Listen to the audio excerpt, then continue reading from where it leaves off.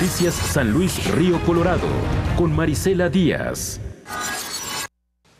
Hola, ¿qué tal? Con el gusto de siempre les saluda Marisela Díaz Ojeda. Bienvenidos a la información. A nombre de todo el equipo que hace posible Mega Noticias, les damos las gracias por permitirnos entrar un día más ahí a su hogar y mantenerlo como todos los días muy bien informado de los acontecimientos más relevantes que suceden aquí en San Luis Río Colorado y su valle. También les recordamos que estamos a través del 5350077, número directo del estudio, 653-105-7332 por WhatsApp y www www.meganoticias.mx. Así que con todas estas fórmulas de comunicación ya estamos listos. Iniciamos. Hoy en Meganoticias, comerciantes preocupados por la inseguridad piden audiencia con el alcalde. 1.500 delincuentes libres en nuestras calles, alcalde exige a diputados legislar las leyes. Aumentará el tiempo de espera para el cruce a Estados Unidos.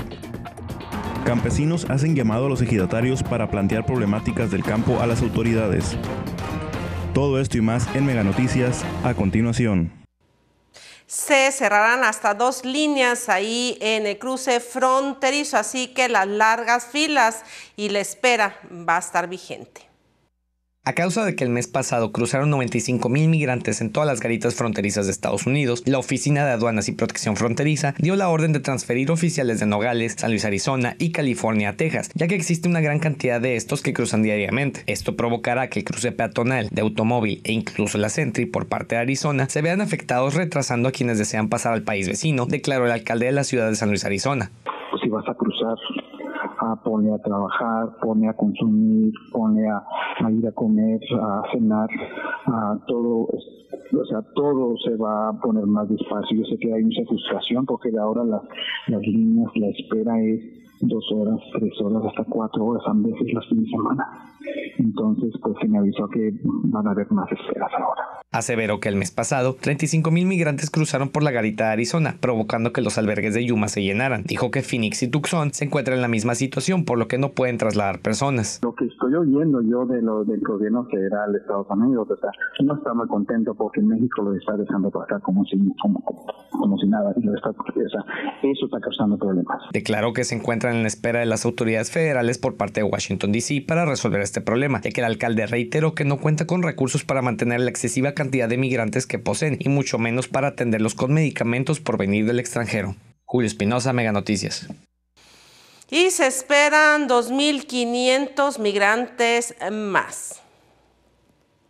A pesar de que los turnos fueron asignados a los migrantes para el cruce de frontera al país vecino, se anunció que otra caravana con 2.500 personas se encuentra en Tapachula, Chiapas. Estas la integran centroamericanos, cubanos e incluso africanos provenientes del Congo, ya que al ver la facilidad que Estados Unidos otorga con los asilos políticos, se ha convertido en una actividad atractiva, comenta el dueño del albergue Don Chon en Celio Río Colorado. Eh, está evolucionando y, y ahorita ya eh, viene compuesto por mucha gente cubanos, gente del Congo, del África, y sin temor a equivocarme, eh, te puedo adelantar que ya lo he hecho.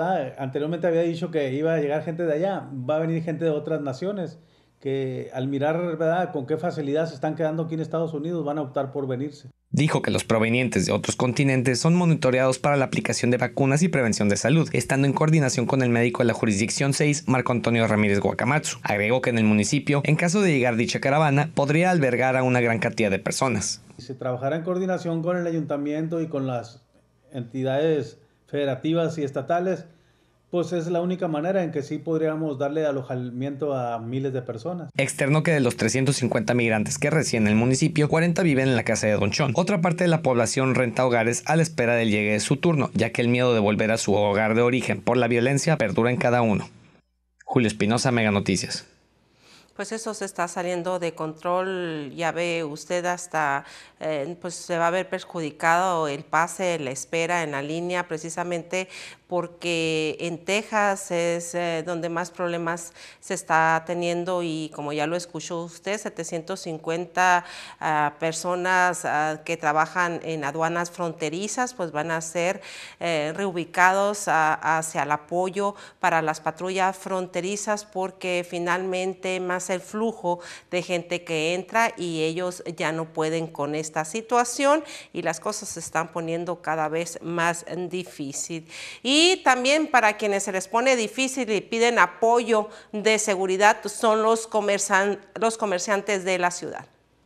La preocupación por la situación de seguridad en San Luis Río Colorado se externó en la reunión emitida a las 10 de la mañana por parte de los 27 empresarios del municipio, encabezados por el delegado de Coparmex, Eric Marino Payán. Declaró que en anteriores ocasiones se propuso el alcalde municipal, Santos González Yescas, el otorgar información que beneficie a los cuerpos policíacos, como el uso de cámaras en los establecimientos. Las cámaras de, videovigilancia que, que como cada quien tenemos, buscando siempre la seguridad propia de nuestros empleados y y la forma en que se pueda vincular esto con, con seguridad y profesionalismo y que se establezca un plan o se reforme un plan si ya existe eh, y que sea esto de forma pública, dado que es preventivo, consideramos que puede ser eh, público el actuar en un cambio o, uno nuevo en el plan de la estrategia de seguridad. Declaró que en base a estadísticas realizadas por Coparmex, dictaminaron que de 7 de cada 10 empresarios han sido víctimas de algún modo por temas de inseguridad y en base a investigaciones concluyeron un incremento de 55% a temas violentos en el estado de Sonora. Hemos tenido que reacondicionar nuestros, nuestro presupuesto y nuestros gastos en nuestras empresas y dirigir un renglón de seguridad privada. Eso representa un gasto importante en nuestro presupuesto de egresos como empresarios. Eh, quiero decir, máquinas, eh, cámaras, seguridad privada y varias acciones que algunos de los que estamos aquí hemos tenido que hacer. El presidente municipal dijo que existe un índice de 1.500 delincuentes libres en la ciudad y por ello se debe presionar a los diputados para legislar leyes que encierran a quienes obran ilícitamente. Por último, dijo que el recurso de Fortaseg llegará pronto y será utilizado para inversiones policíacas como se tenía previsto. Julio Espinosa, Mega Noticias. Pues todo lo que sea de seguridad lo necesitamos aquí en nuestra ciudad, como usted también ya escuchó, tuvimos la oportunidad de entrevistar al secretario de Seguridad Pública del Estado, David Anaya, con el programa Tetaviate y nos comenta pues que ahí todos los niveles eh, de, gobierno, así como también las, eh, los niveles de seguridad están eh, reunidos precisamente para combatir la delincuencia, el crimen organizado organizado y muchísimas otras situaciones que se aquejan aquí en nuestra ciudad, pero la seguridad, como lo hemos señalado anteriormente, no nomás la hace pues el gobierno, sino que nosotros también tenemos que poner ese apoyo que se necesita para cuidarnos unos con los otros. Vámonos a breves, eh, breves informativas de San Luis Río Colorado. OMAPAS invita a la ciudadanía a que se acerque a regularizar sus adeudos con el organismo, ya que de esta forma contribuirán al desarrollo y seguimiento de más obras en la ciudad. El titular de la paramunicipal, Carlos Sánchez Santa Cruz, comentó que se tiene una deuda de cartera vencida de 600 millones de pesos, mismo que se ha logrado disminuir poco a poco gracias a la respuesta de los usuarios que acuden a solicitar convenios y los que generan su pago puntualmente. Por otra parte, informó que cualquier persona interesada en regular su situación puede solicitar un convenio en las oficinas de OMAPAS que se ubican en la avenida 16 de septiembre y calle Sexta en horario de lunes a viernes de 8 de la mañana a 3 de la tarde.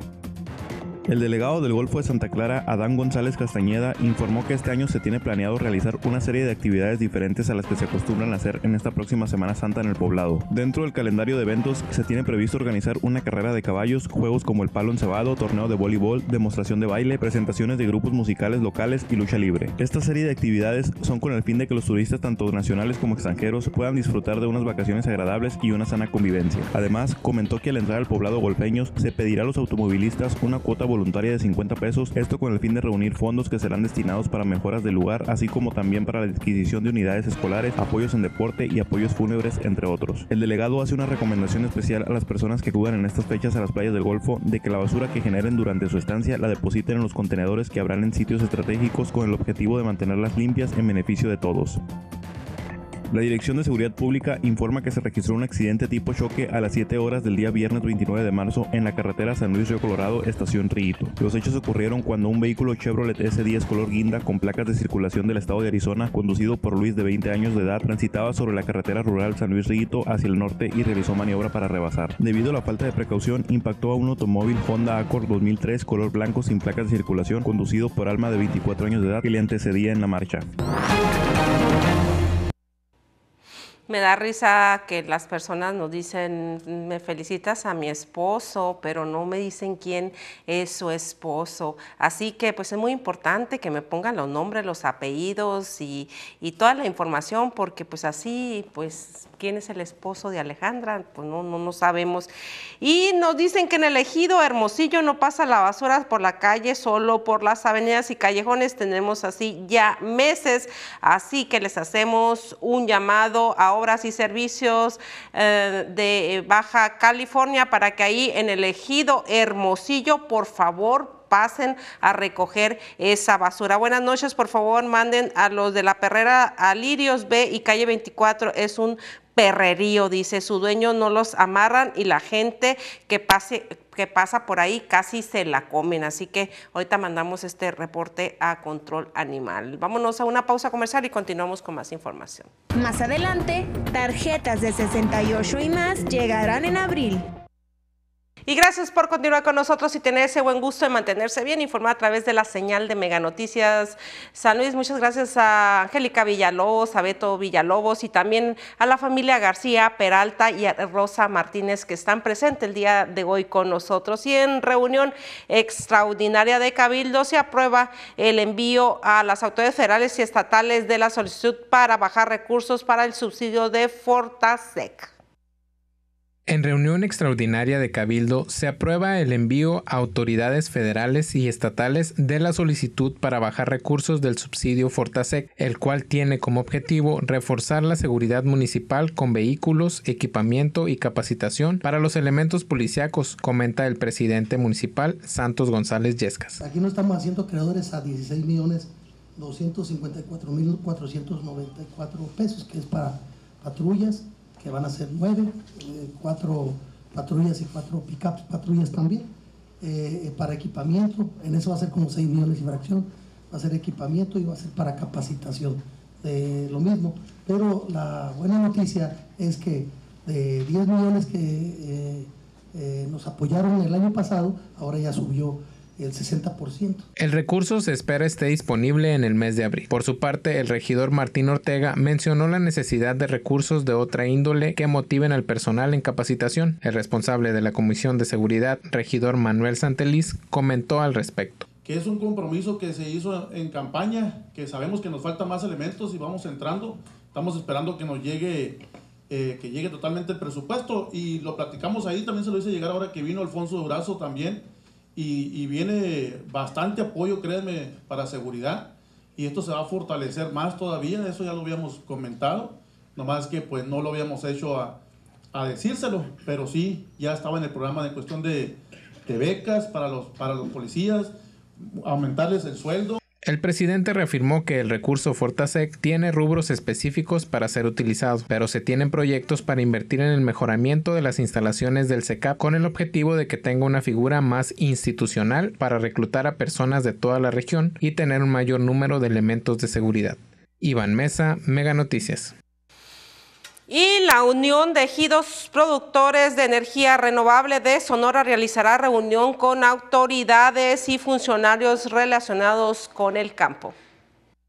La Unión de Ejidos Productores de Energía Renovable de Sonora realizará reunión con autoridades y funcionarios relacionados con el campo el 13 de abril, en donde se presentarán proyectos sustentables, además de plantear la problemática que les aqueja en la región. Comenta Carlos Ariel Espinosa López, presidente de la Unión. Los comisariados ejidales de Sonoita, de Puerto Peñasco y de San Luis Río Colorado y un grupo considerable de Caborca estarán no solamente presentando proyectos productivos, sino que también habrán de plantear la problemática que aqueja a cada una de las comunidades ejidales. Espinosa comenta que entre los proyectos se propone la producción de gas butano a través del procesamiento de basura, reciclaje de agua, entre otros. Proyecto acuícola o el proyecto que nosotros le llamamos de triple propósito, que es eh, este, pesca con la tilapia,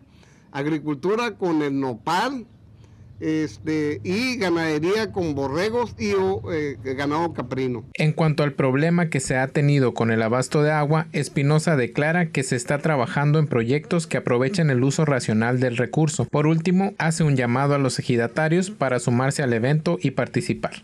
Iván Mesa, Mega Noticias.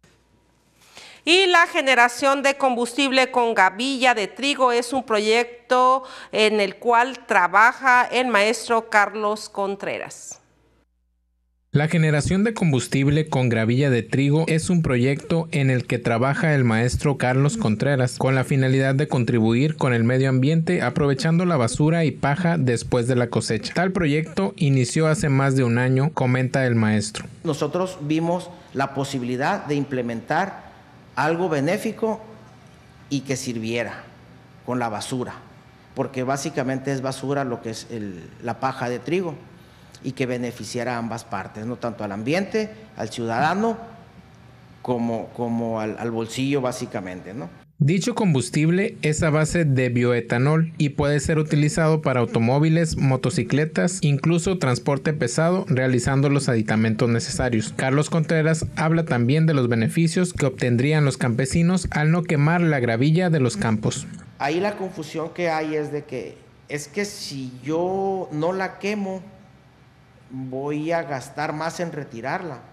Pero si compara los gastos de lo que retiraste contra lo que invertiste, te das cuenta que inviertes más cuando vuelves a fertilizar y vuelves a regresar los nutrientes a la planta de manera química. Entonces, al no quemarla, se están regenerando los propios nutrientes, se están manteniendo dentro del suelo y lo que te va, provoca esto es reducir la cantidad de, fertilizantes que vas a utilizar. Para finalizar, el maestro Contreras declaró que se está gestionando la inversión de empresas que puedan interesarse en el proyecto para comercializarlo. Iván Mesa, Mega Noticias.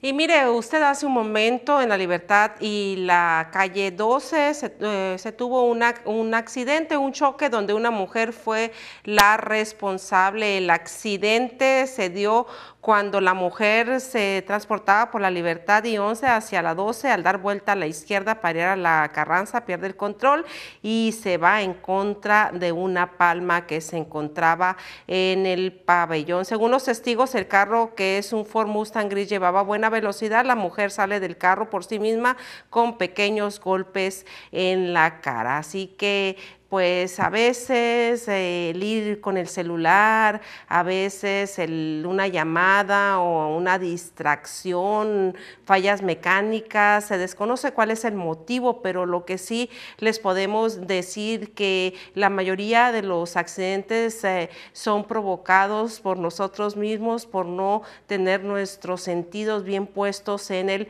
volante y a veces hablando por teléfono, a veces contestando a hasta mensaje. Muy importante también llevar el cinturón de seguridad. Pues miren, gracias a Dios nada más la señora partió la palma en dos, pero pudo salir de su carro. De todas maneras, pues tiene que ser examinada porque muchas veces los golpes son internos. Y hace un momento en redes sociales pudimos em, ver que ahí en el Callejón Chapas y 8 una, una presentación, una movilización eh, y estaban presentes Gendarmería, Policía Municipal, Policía Forense, al parecer también anda por ahí, AMIC, porque eh, están cateando una casa ahí en el Callejón Chapas y 8 muchas versiones se dice, nada se tiene aún concreto qué es lo que está pasando, pero el operativo hasta a este momento continúa, aún las autoridades correspondientes eh,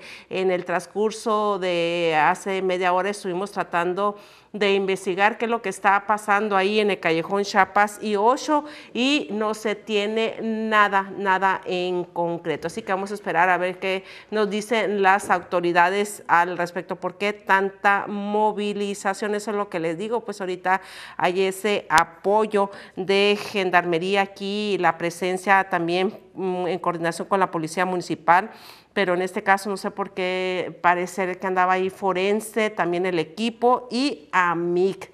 Algo, algo grande están investigando en esta ciudad. Nos vamos a ir a una pausa comercial y continuamos con más información.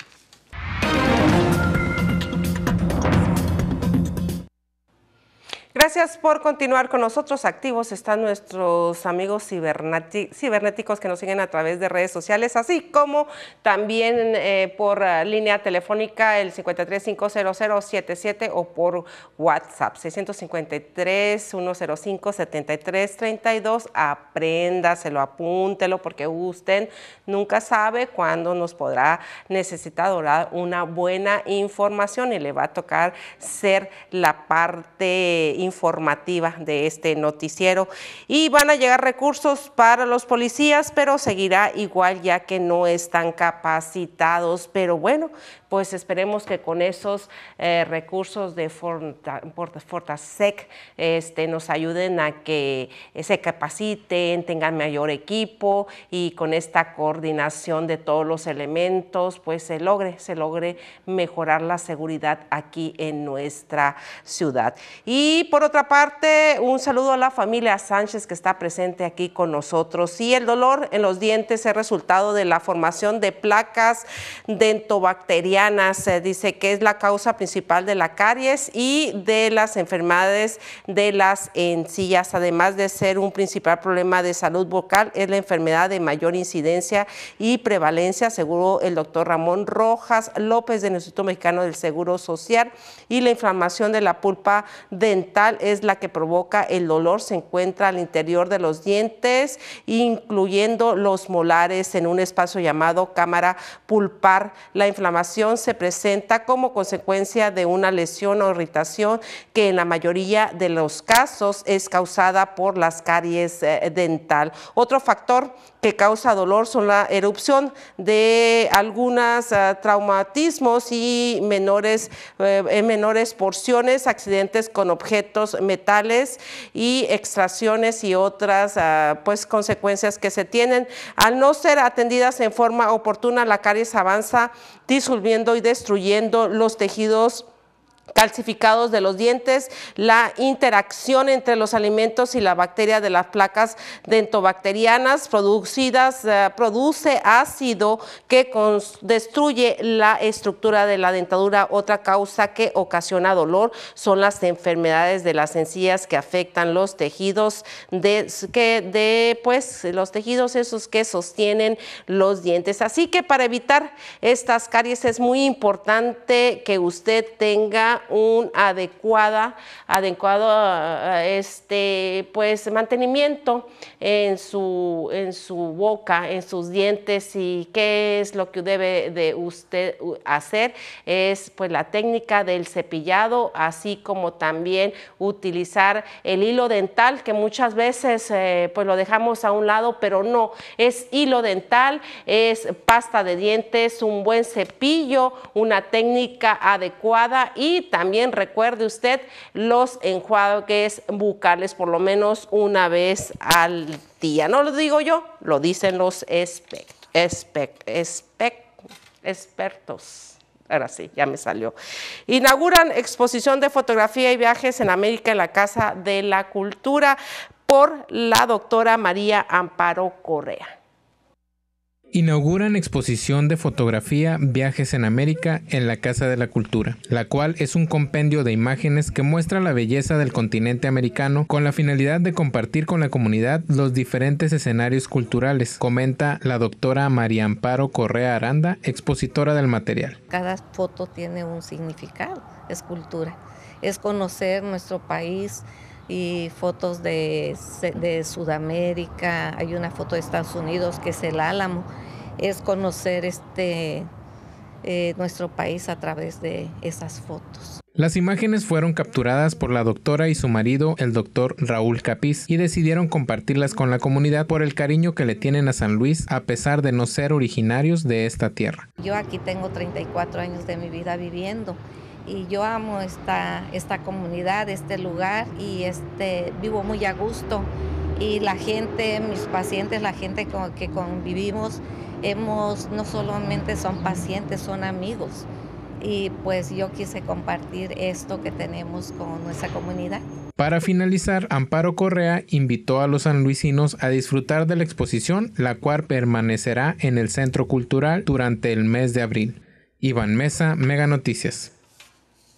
Y el presidente municipal Santos González Yesca se reunió la mañana de este viernes con, la, con el filántropo estadounidense doctor John David Arnold, quien es fundador del PEP es eh, Portable Practical Education Preparation por siglas en inglés. El motivo de esta reunión fue conocer el trabajo social que ha realizado John David Arnold y poder crear proyectos y programas en coordinación con el 28 Ayuntamiento para el beneficio del sector más vulnerable de aquí de nuestra ciudad, San Luis Río Colorado, en el tema relacionado con servicios médicos y la educación. Durante la charla, el alcalde conoció de, primera mano la actividad que el fundador del PEP tiene en Arizona principalmente que puede eh, pues hacer de provecho para nuestra comunidad. También estuvo presente la directora de Turismo, Rebeca Chin, el presidente del Comité Ciudadano de Seguridad, Miguel Sandoval,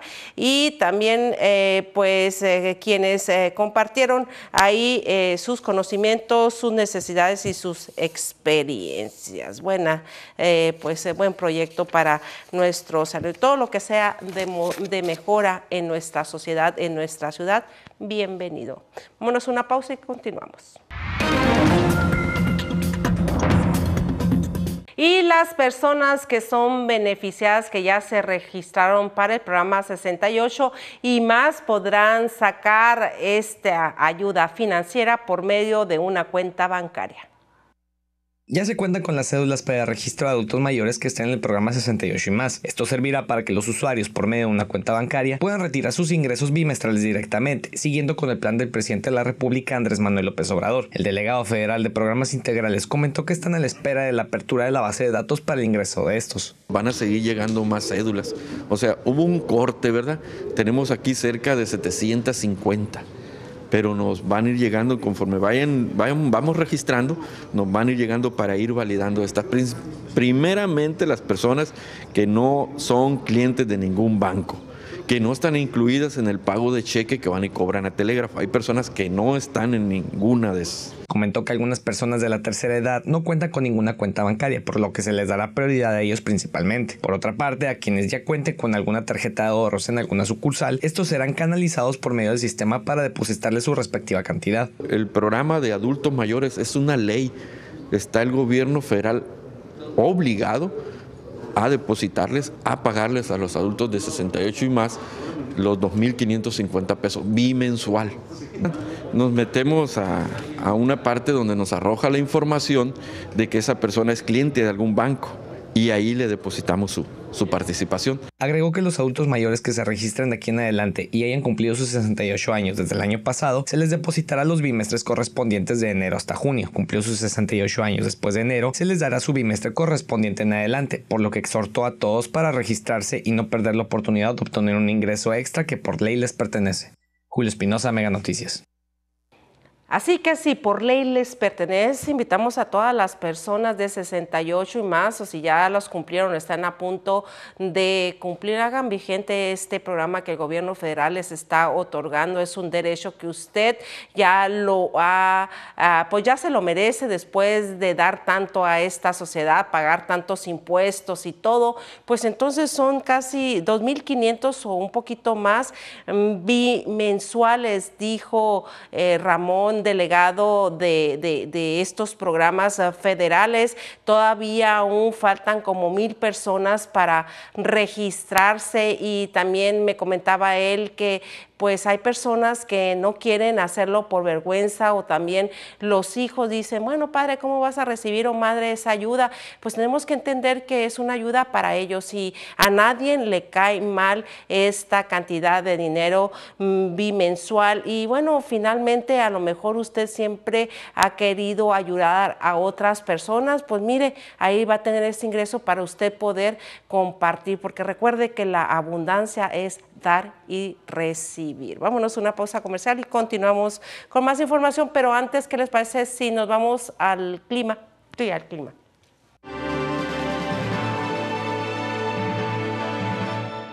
Hola, ¿qué tal amigos? Qué gusto saludarles. Estas son las condiciones que estaremos viendo en la región hacia las próximas horas. Vea usted, casi no hay elementos que hagan cambiar la temperatura aquí en Sonora, de manera que sigue acumulándose el calor y siguen subiendo las temperaturas. Vámonos al detalle y le cuento que este sábado lo que estaremos viendo en el norte de Sonora es tiempo soleado.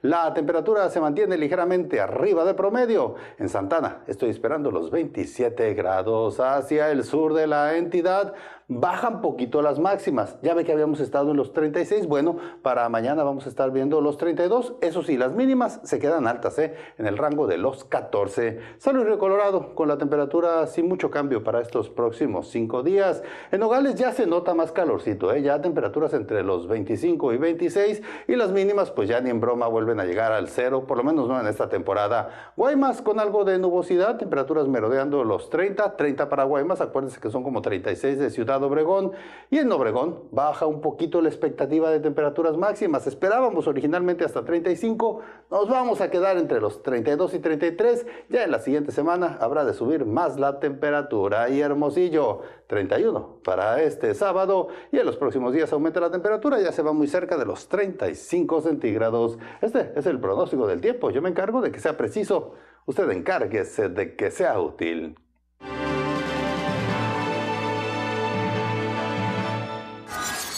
Claro que sí, nos vamos a encargar de que sea útil. Muchísimas gracias por el favor de su atención. A nombre de todo el equipo que hace posible Mega Noticias, los invitamos a que mañana, si usted por algún motivo no nos pudo seguir a través de nuestras plataformas, a través de Mega Noticias, en Mega Cable o en Mega Canal o en, en, pues a través del canal 151, también lo invitamos a que no se pierda el resumen fin de semana con mi compañero Julio eh, César Espinosa. Así que después se queda sentadito porque viene un programa muy interesante para ustedes que es el programa de a fondo. Ahorita, eh, pues eh, también quédese con nosotros, Víctor Mendoza Lambert y Hilario Lea con toda la información a nivel estatal. Recordándolo que este es un esfuerzo de comunicación, Nogales, Guaymas, Obregón y San Luis Río Colorado y por supuesto Hermosillo para llevarle todo toda la gama de los eventos más relevantes e importantes que suceden a nivel estatal. Por mi parte, agradezco el favor de su atención. Los invito a que pasen un magnífico fin de semana en compañía de toda su familia y el lunes aquí los esperamos. No nos fallen.